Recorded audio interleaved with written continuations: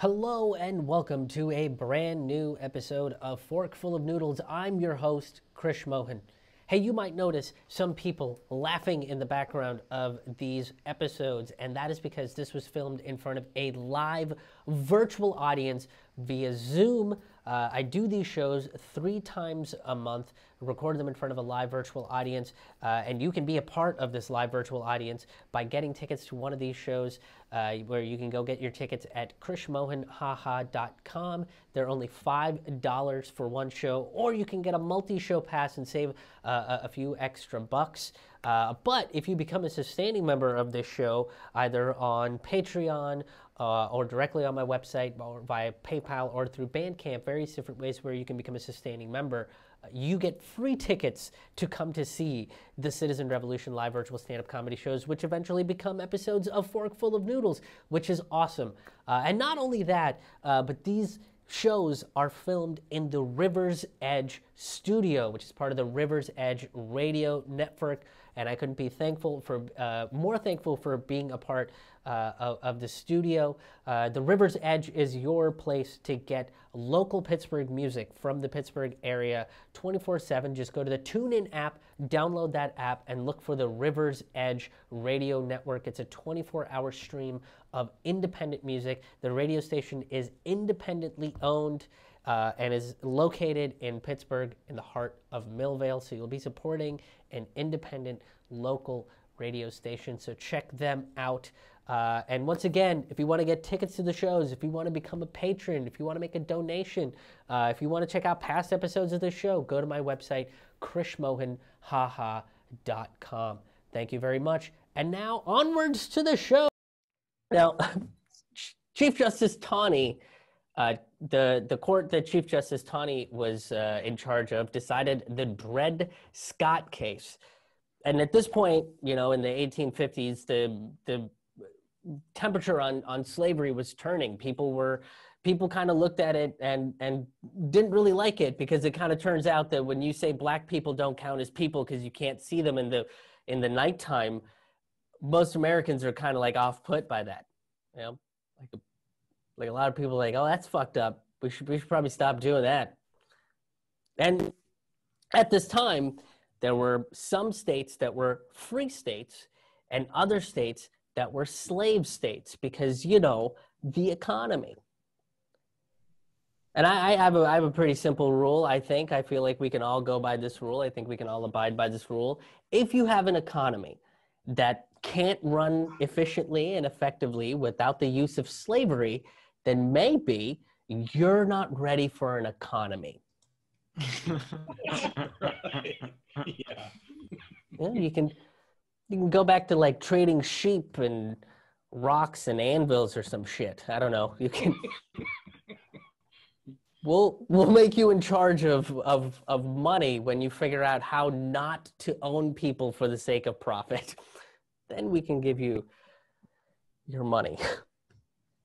now, Dred Scott was was a pretty monumental case. Uh, Dred Scott was a slave that was taken to a, a, free state by his master, and therefore Scott concluded that he was a free man and he had the right to determine his own life. So he chose to stay in the free state, which is something that he could do. And it, I think it makes sense to everybody, you know, and and literally everyone that agrees that I don't know, maybe owning human beings is a bad idea. That's something we shouldn't do as a society. But his master thought otherwise, of course, uh, and may and you know this case made its rounds uh, in the lower circuit and eventually wound up in the desk of the Supreme Court.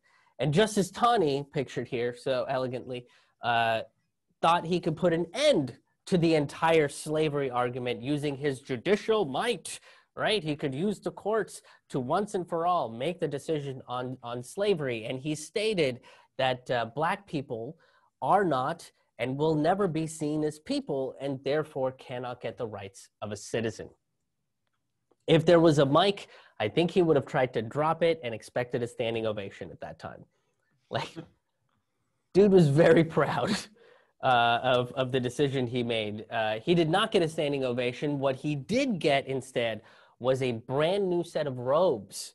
Yeah. Uh, Justice Taney turned in his traditional black judge's robes for a more white, ghost like robe. Yeah. Oh, I see what you did there. I, yep, I did. And he started, started going by Supreme Grand Dragon Taney instead. Oh, some of you were like, oh, the KKK references end at that point. I was like, nope, we're going one step further. We're going one step further. Just like this motherfucker was like, I'll go one step further than the Constitution, bitches. now, this this is a point of shame for the Supreme Court, right? Like much like Germany 1936 to 1945, nobody likes to talk about this little piece of history. Usually, when Justice Taney is brought up by lawyers and judges, they just start talking about the weather. You know, they're like, "Oh, look how nice it is outside. Is this this is nice weather for July, isn't it? it's great." yeah. You know, start talking about cheese or some some shit, or like they're just like Lincoln was pretty cool, right? You guys like Lincoln? for the love of God, please, anything but this. And look, in this instance, Lincoln was pretty awesome. Uh, he pushed back against Taney and disregarded his decision uh, and basically set out his entire administration to uphold equal rights for every single person. Now, Taney, uh, Taney's decision did escalate tensions between the states because the free states didn't want to comply and say that, that black people should are, are not people, and the slave states were like, "Fuck yeah, they are." This is pretty cool, and it eventually led to uh, the Civil War, which technically would mean that his decision was treasonous because that is one of the major re- things that that accounts for treason is if you start a war, if you wage war against one's own nation, that is considered treason. Uh, so therefore, I don't think he should just be disbarred from the country. Uh, I think he should have been disbarred from the entire throne of the Supreme Court. But uh, that did not happen to Justice Taney. Lucky for him, he died. That's what happened. yeah. And by the way, that's pretty much the only way justices can be replaced, right? Under the Judiciary Act of 1789, our very first president, George Washington, specified that there needs to be at least six judges, and they served until they either died or retired. And this, of course, creates loads of problems, right? If you have a bad president, theoretically, you can vote them out uh, in four years. And undoing four years of damage is far easier than undoing 30 to 40 years worth of damage. And that's how long most Supreme Court judges serve. They serve like a minimum of 30 years. It's not a requirement to serve that long, obviously. We just talked about that, but but that's how long these once they get into office, they live. Is they live at least 30 years. Uh, and and really think about it. Like no, nobody really retires from the uh, from the Supreme Court. And think about it. Like if you were like a judicial genie uh, that could grant the wishes that you wanted or possibly your own party that, that got you in wanted, would you really retire early to, you know, bring like a, a fresh new genie with like a whole new set of wishes? You know, fuck no, you wouldn't. of course you wouldn't, right? Some of those genies uh, might think black people are like real people and like women should vote. Ooh that those genies are basically communists and should have never gotten the power of wishes, you guys. You should have never done it. And that has been your forkful of noodles for this week. I hope you guys enjoyed it. If you did, make sure you hit that like button. Make sure you you are you're sharing this out with your friends, with your enemies, whoever you think would enjoy this show.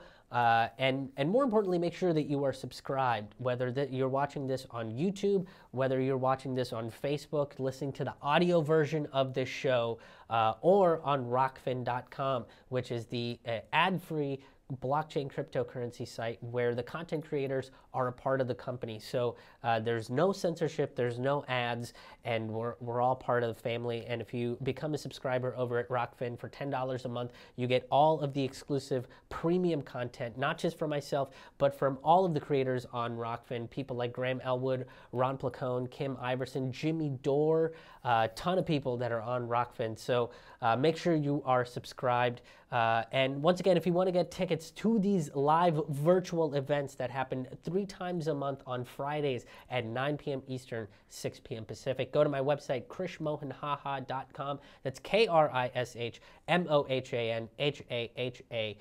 Com. You can also become a sustaining member to get free tickets and additional bonus unreleased stand up comedy and storytelling content. Uh, you can um, also make a one time donation. Check out all of my stand up comedy albums. Uh, keep up to date on wh- when my live shows are coming out uh, and sign up for my email list. Once again, the website is krishmohanhaha.com. That's K R I S H M O H A N H A H A. Thank you so much for tuning in, and we will see you next week.